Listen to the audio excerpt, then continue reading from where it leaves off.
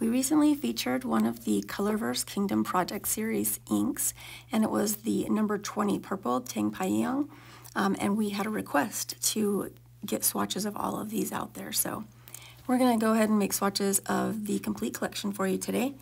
First, we have number 17, Gei Guk, and I'm not going to say any of these right pronunciation-wise, just so you know. Right up front, I'll go ahead and claim that.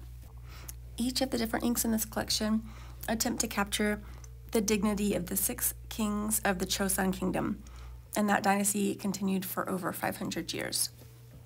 So that second one was number 18, Nala Smalsmi, and next we're going to do number 19, Teapyeong Seongde.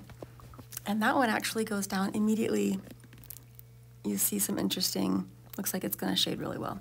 Okay, next we have uh, I believe this is the one that we, yeah, number 20, Tang Pai Young. This is the ink that we just featured recently um, in a comparison of different purple inks. And if you missed that, um, scroll back a bit in our feed and check it out. This next one's number 21, Kaiyujang Gak. And it is a kind of, this kind of stands out in the series because of its color, the red there.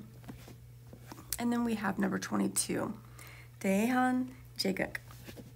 And just so you have all the information, we did put these down just with a paintbrush and a J. Herbin spiral dip glass pen on Clairefontaine Triomphe paper. It's one of our classic choices um, of products to use when we're sampling inks.